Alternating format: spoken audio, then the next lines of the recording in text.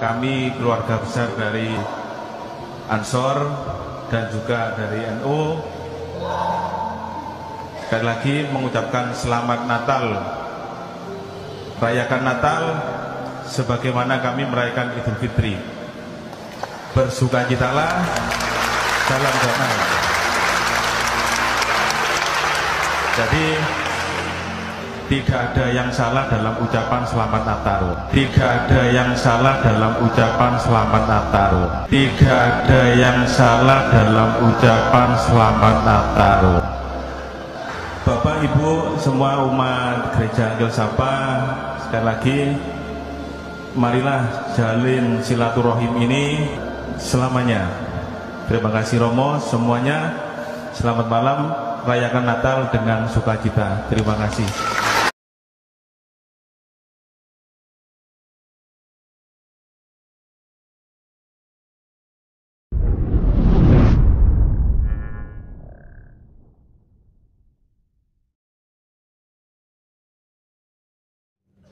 Saya ingin bertanya sama antum, boleh nggak kita menyakiti orang-orang yang melakukan, kemaksiatan? Boleh nggak kita menyakiti mereka? Nah, boleh apa tidak? Tidak diperbolehkan.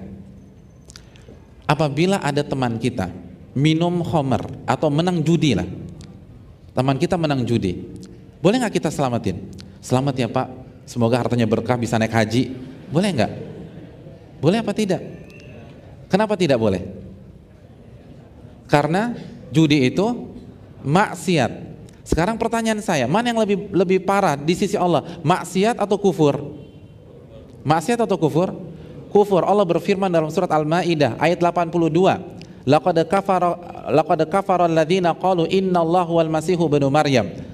Lalu Allah mengatakan juga laqad kafara alladziina qalu innallaha tsalitsu tsalatsa.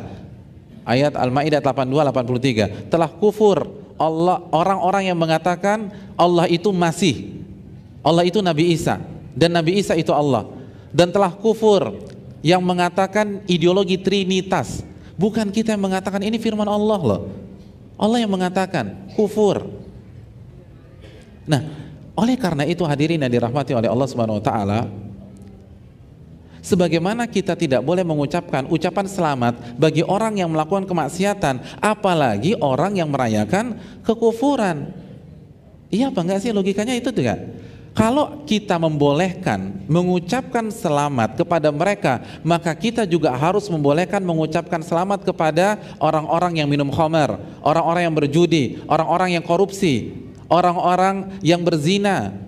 Karena kalau itu boleh, ini juga boleh. Yang stadium 4 aja boleh atau apalagi yang stadium 2 atau stadium 3. Orang yang mengatakan bolehnya mengucapkan selamat Natal selalu berdalil dengan toleransi. Akhlakul karimah. Pertanyaan saya, mana yang lebih paham toleransi dan akhlak kita atau Rasulullah SAW? Kita atau Rasulullah SAW? Rasulullah. Kalau ini benar-benar mengatasnamakan toleransi dan akhlak, kenapa Nabi tidak ucapkan? Ini berarti bukan toleransi, ini akidah hadirin sekalian. Kan yang paling paham toleransi Rasulullah, yang paling paham akhlak Rasulullah, yang paling baik itu Rasulullah. Dan sebaliknya, kalau kita katakan bahwa mengucapkan selamat Natal itu boleh atas nama toleransi, maka secara tidak langsung kita katakan Nabi nggak ngerti toleransi. Nabi kurang berakhlak dan itu lebih fatal lagi.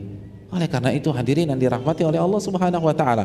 Saya agak bingung kenapa banyak umat Islam kok kayaknya ribet sekali nyari fatwa sana, nyari fatwa sini. Ini kan bukan masalah kontemporer. Ini masalah klasik. Sudah ada zaman Nabi, sudah ada zaman Abu Bakar, sudah ada zaman Umar, sudah ada zaman Uthman, sudah ada zaman Ali, sudah ada di zaman Imam Syafi'i dan seterusnya. Simpel saja cek mereka yang lebih paham Islam, mereka lebih paham akhlak, mereka lebih paham tentang toleransi. Kalau memang mereka ucapkan, kita ucapkan. Kita ucapkan.